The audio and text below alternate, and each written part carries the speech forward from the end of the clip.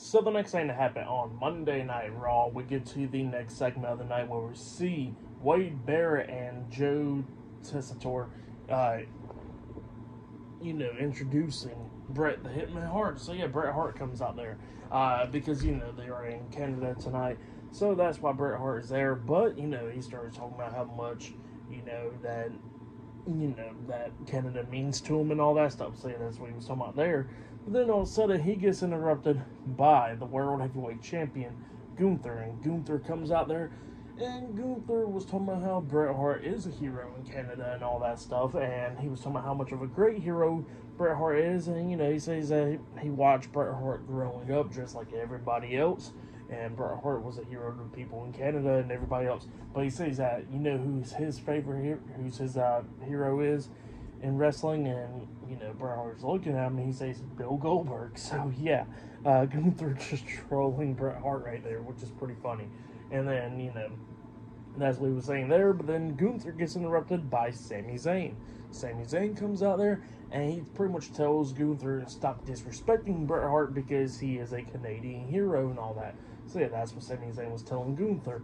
And Gunther starts talking crap to Sami, talking about how Sami ain't gonna be nothing like Bret Hart or anything like that.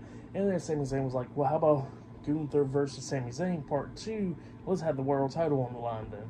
And Gunther pretty much looks at Sami Zayn. He tells him no. Well, Gunther walks out the ring, and then Bret Hart was talking about how Gunther's scared and everything, and he's scared that he's going to lose that world title to Sami Zayn, just like how he lost other titles. So yeah, that's what uh, Bret Hart was saying there. And then Gunther gets pissed off, and he's about to walk back into the ring, but then Sami Zayn gets out of the ring, and he gets face to face with Gunther. But then Gunther gets pissed off, and he tries to hit Sami, but Sami Zayn starts brawling with him, and both guys are brawling and everything up until a bunch of referees and stuff had pull them apart. So yeah, that's what happened there. Sami Zayn gets back into the ring where Bret Hart's at, and then Gunther walks away. But yeah, that's what happened there. Pretty good segment.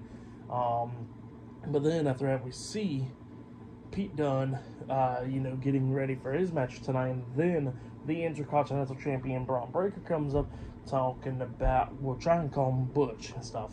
And then Pete Dunne was like, look, don't call me by that. And then Pete Dunne says that he's going to win the Fatal 4-Way match tonight and that he's going to go to NXT and beat Trick Williams going after the NXT Championship, and he says that he's going to win the NXT Championship and win the Intercontinental Championship. So yeah, that's what uh, Pete Dunne was talking about there, and Bron Breakker was talking about that's not even going to happen at all. And yeah, that's what's going on there. Breakker walks away, and then Sheamus comes up, attacking Pete Dunne, hitting him in the knee with the face.